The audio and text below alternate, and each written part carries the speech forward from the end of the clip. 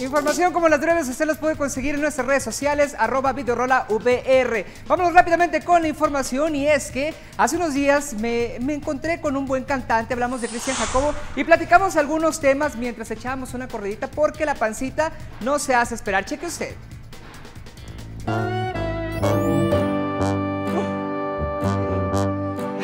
Hermano, ¿cómo andamos?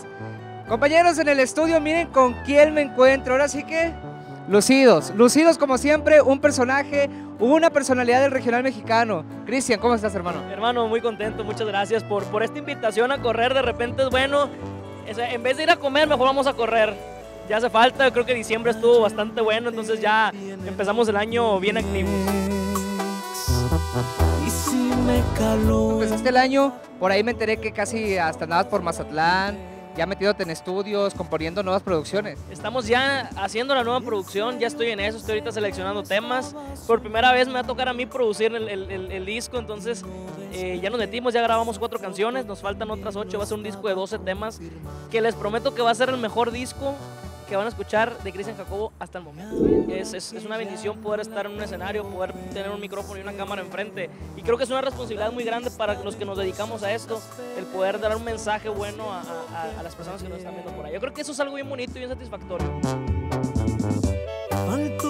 Y hablando de valores y de este boom que, que surgió en el 2018, los corridos verdes, dentro de tus piensos, no, no, no has analizado cómo trabajar algo así, porque ha gustado mucho, ¿eh? Pero también es de, yo no quiero meterme en esas broncas, en esos rollos.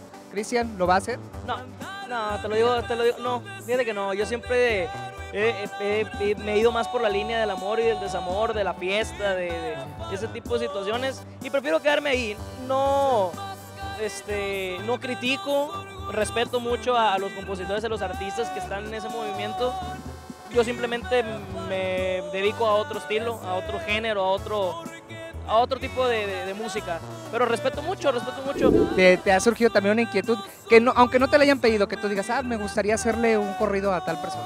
De a mí decir, a mí me gustaría hacerle a tal persona, no. Que me han buscado como compositor y más porque soy de Culiacán, sí, sí me han buscado. No te voy a decir que no he escrito corridos, pero yo siempre, cuando he hecho corridos, he intentado cuidar mucho el contenido. Yo nunca he hecho eh, canciones que, que engrandezcan a la violencia o a, o a faltar al respeto a una mujer. He hecho corridos de historias, historias de vida, historias de, de- de superación de alguna forma. O sea, he hecho, sí he hecho corridos, pero meterme en el tema de decir voy a hacer un narco corrido, no lo he hecho. Y, y no me gustaría tampoco hacerlo, como te digo. Yo respeto mucho, pero mi línea es más, más otro tipo de cosas. Y prefiero quedarme ahí. Mira, han pasado situaciones en las que me han ofrecido incluso cantidades de dinero grandes por hacer corridos, pero yo siempre he dicho que es más cara mi tranquilidad que, que cualquier cantidad que me pudieran dar por, por hacer un corrido.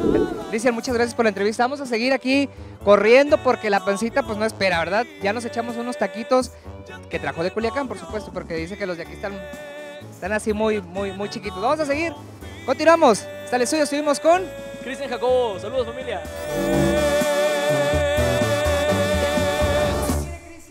Y lo de los taquitos era broma. Estábamos a dieta, estamos corriendo, haciendo ejercicio, porque si usted puede ver, ya se nota. Entonces hay que estar eh, en forma ahora que viene ya el carnaval y, y las fiestas ahora para verano.